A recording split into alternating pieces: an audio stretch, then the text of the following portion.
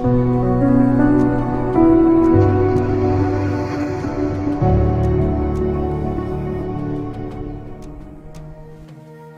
ලෝකයේ හිතාගන්නවත් බැරි තරම් විශාලයි. එම සුවිශාල වූ සත්ව ලෝකයේ වෙසෙන ඇතැම් සත්වයින් ඔබ කවදාවත් දැකලා නැහැ.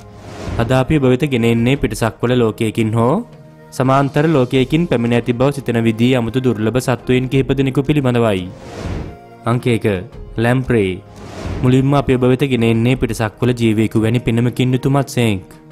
එම සත්වයා හඳුන්වන්නේ ලැම්ප්‍රේ යනුවෙන්. ඔවුන් පැවතෙන්නේ හකුපාඩා රහිත ඉතා පැරණි සත්ව පරම්පරාවකින්.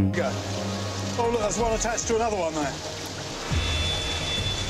මේ මත්ස්‍යයා දරුණු ගණයේ පරපෝෂිතයෙක් බවද විශේෂයෙන් මතක් කළ යුතුයි. මේ මත්ස්‍යයින් තම දත්වලින් අනෙකුත් මත්ස්‍යයින්ගේ සිරුරු හා අගුළුලා සිටිනවා. ඒ එම සත්වයින්ගේ සිරුරු වලින් රුධිරය උරා බීමටයි. උතුරු ඇමරිකාවේ විශාල ජලාශයන් වල මහා පරිමාණයෙන් මේ සත්වයින් දැක ගන්නට පුළුවන්. එම නිසා මොවුන් දීවර කර්මාන්තයේ නියැලැන්නන්ට විශාල තර්ජනයක් වී තිබෙනවා. මේ පරපෝෂිත මත්ස්‍ය විශේෂය මීට වසර මිලියන සේ ගණනකට පෙර දිස්සුනේද මේ ඔබ දකින විදියටමයි. මොකද ඔවුන් නිතුවක් කාලයක් පුරාවට පරිණාමය වී නැහැ. එම නිසා ඔවුන් අද මිහි මත වෙසෙන ඉතා දරුණුම පරපෝෂිත මත්ස්‍යයෙකු බවට පත්ව තිබෙනවා. අංක දෙක මැරීන් නිගුවානා භයංකර පෙනුමක් ඇති මේ කරුසු විශේෂය දකින විට ගොඩ්සෙලා සාගරය තුළින් මතුවෙනවා වැනි හැඟීමක් ඔබට ඇති වෙන්නට ඇති. See anything?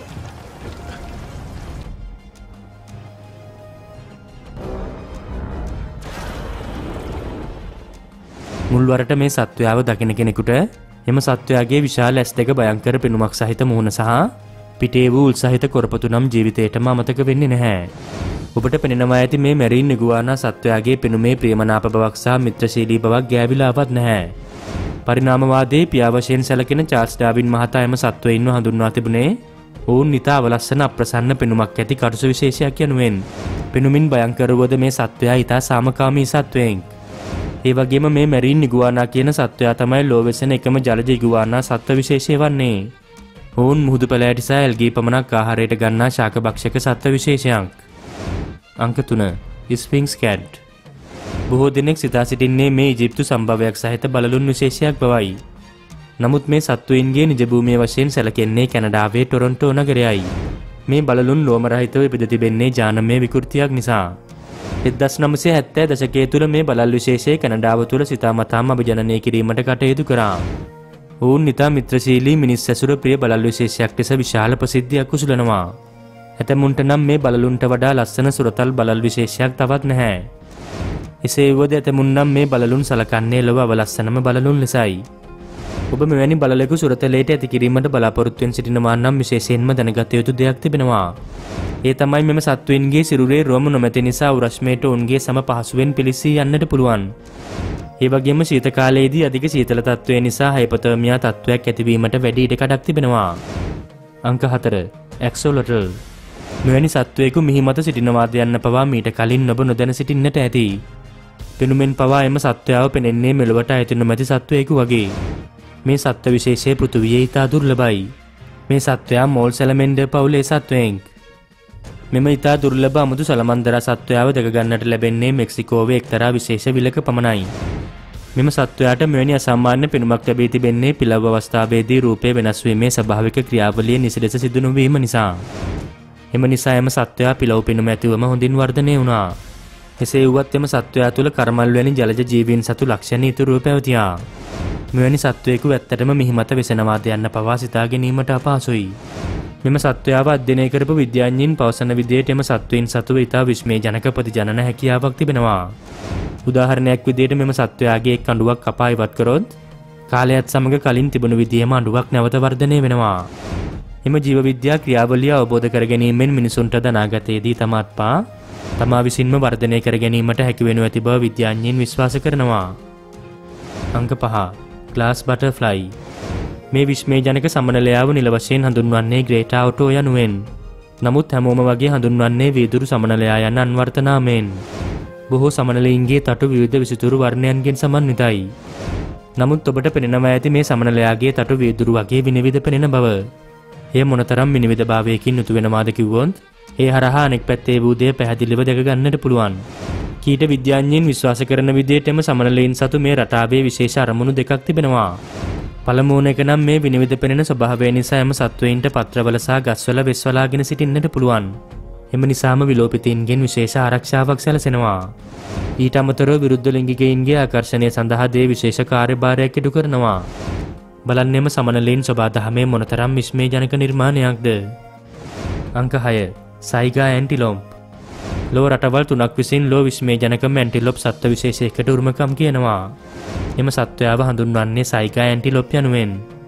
බැලූ බැල්මට මෙම සත්වයා ඉතා අමුතු පෙනුමක් ඇති සත්වයකු බව ඔබට පෙනෙනවා ඇති. අසාමාන්‍ය පෙනුමකින් යුතු දිග මුහුණ ඉතා විශේෂයි. එලෙස අසාමාන්‍ය විදියට දිගුවී තිබෙන්නේ එම සත්වයාගේ නාසය කිව්වොත් ඔබ පුදුමයට පත් වේවි. අනෙකුත් විශේෂත්වය නම් මෙම සත්වයාගේ නාසය අලෙකුගේ හොඳ වැලක් වගේ නම්මශීලී බවකින් යුක්තයි. මේ සත්වයා ඔබ මීට කලින් දැක නොමැතිවීමට ප්‍රධානම හේතුවක් තිබෙනවා. ඒ තමයි මෙම සත්වයා වාසය කරන්නේ රුසියාවේ කසකස්ථානයේ සහ උස්පෙකිස්ථානයේ පමණයි. ඉතින් එම රටවල්වල ජීවත් නොවෙන කෙනෙකු සහ BBC පැනට්ටත් නරබන්නේ නැති කෙනෙකුට මේ සත්වයා දිස්වෙන්නට තිබෙන ඉඩකඩ ඉතාමත් මාඩුයි. හිතන්න මෙම සත්වයාට අසාමාන්‍ය දිගු නාසයක් පිහිටා තිබෙන්නේ යයි. සයිග ඇන්ටිලොප් සත්වයා එම නාසයෙන් තමයි යොහු විසින් ආග්‍රහණය කරන දුහවිලි පෙරීම සිදු කරන්නේ. ඊට අමතරව රුදිර උෂ්ණත්වය නියාමනය කිරීමට දේදායක වෙනවා. මේ සත්වයින්ගේ ශරීරයේ වූ ලෝම ගැනද විශේෂයෙන් යමක් මතක් කළ යුතුයි. සයිග ඇන්ටිලොප් සත්වයින් බෞතරයකගේ ලෝම සහෝදර ඇන්ටිලොප් සත්වයින්ට සමාන වුණන්ත් ඇතැම් සයිග ඇන්ටිලොප් සත්වයින්ගේ ලෝම හිමවැනි ඉතා පිරිසිදු තනි සුදු පාටකින් යුක්තයි. එම නිසා එම සත්වයින්ව දිස්වන්නේ ෆැන්ටසි නවකතාවක වූ සත්වයකු වගේ. අංක හත දම් පැහැ වැම්පය කකුළුවා. මේ මිරිදිය කකුළු විශේෂයට පර්පල් වැම්පය ක්‍රප් කියන නම ලැබේ තිබෙන්නේ ඔවුන්ගේ කහ පැහැති අමුතු වැස් දෙකසා දම් පැහැති ශාරීරික වර්ණය නිසා. මිනිසුන්ගේ පවා ලේවුරාපන පිසාචයින්ව හඳුන්වන නමකින් මේ කකුළුවා හැඳින්නුවද මෙම කකුළුවා නම් මිතා ලෙස සර්වභක්ෂක සත්වයෙන්. මොකද ආහාර සොයායාමේදී ඔවුන් ක්‍රියාශීලී බවක් පෙන්වන්නේ නැහැ. ඔවුන් හසුවෙන සෑම දෙයක්ම වගේ අනුභව කරනවා. මේ විසිතුරු කකුළුවන් සුරතල් සත්වයින් ලෙස ඇති කරන්නට පුළුවන්. නමට බැම්පය කියන කොටසක් තිබුණත් ඔවුන් ඔබේ මාළු ටැන්කේ වූ මත්සීන්ගේ ලේවුරා පොන්නේ නැහැ. එම සත්වයින් ටැන්කියේ වූ කාපනික කොටස් පිරිසිදු කිරීමට කටයුතු කරනවා. අංකාට පාකුෆිෂ් පිරානා යනු ලෝ භයානකම මත්සීන් අතරින් එකෙක් බව ඔබ දන්නවා ඇති. නමුත් එම පිරානා මත්සීන්ගේ සහෝදර මත්ස විශේෂයක් වන මේ පාකුෆිෂ් මත්සීන් නම් අයත් වන්නේ ලොව අමුතුම ජීවීන්ට ඇස්තුවටයි. මේ මත්ස්‍යාව දුටුවත් කෙනෙක් බේට පත්වන්නේ ඔබට හිතාගන්නවත් බැරි අමුතුම හේතුවක් නිසා. මුලින්ම කියන්න ඕන මේ මත්සයින් ඉතා විශාලයි. උදාහරණයක් විදියට සාමාන්‍ය පිරාණා මත්සයකුට වඩා ගොඩක් විශාලයි. දෙවිනි කරුණ තමයි ඔවුන් නිර්මාංශී මත්ස විශේෂයක්. ඔවුන් නොනුභව කරන්නේ ගස්වලින් වැටෙන පත්‍ර බීජසා නට්ස්වර්ගයි. මේ සත්වයාව දුටුවත් කෙනෙකු බියෙන් තැතිගන්න හේතුව තමයි එම මත්සයාගේ දත් මිනිසුන්ගේ දත්වලට හාත් පස සමානවීම. පිරාණා මත්සීන් සතු උල්ලූ තියනු දත් පිහිටා තිබෙන්නේ පහසුවෙන් නැටලේ මස්නහර විදගෙන ගමන් කිරීමට. ඒ වගේම මේ පාකෆිෂ් මත්සයාට මිනිසුන්ගේ වගේ දත් පිහිටා තිබෙන්නේ ඔවුන්ට ඉතා ශක්තිමත් නර්ස්වර්ග හොඳින් හපා ආහාරයට ගැනීමට හැකි වෙන ලෙස. මොක දෙසේ නොවන්න ඔවුන්ට මතුපිට වූ දැඩි ආවරණය බිඳ දමා එහි ඇතුළේ වූ මුදු කොටස ආහාරයට ගන්නට හැකි වෙන්නේ නැහැ.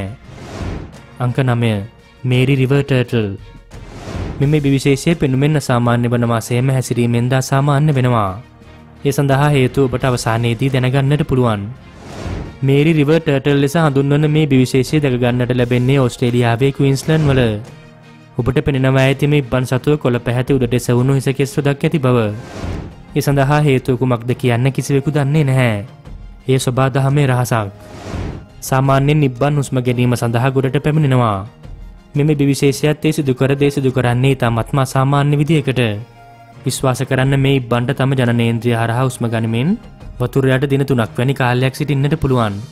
තවද මේ ඉබ්බන් සතුවරගේ විසින් භාවිතා කරනවා වගේ කරමල්වලට සමාන අවයවයක් තිබෙනවා. එහි අරමුණ වන්නේ බහිශ්‍රාවිය කෘත්‍ය ඉටු කිරීම සහ වර්ගයා බෝ කිරීමයි.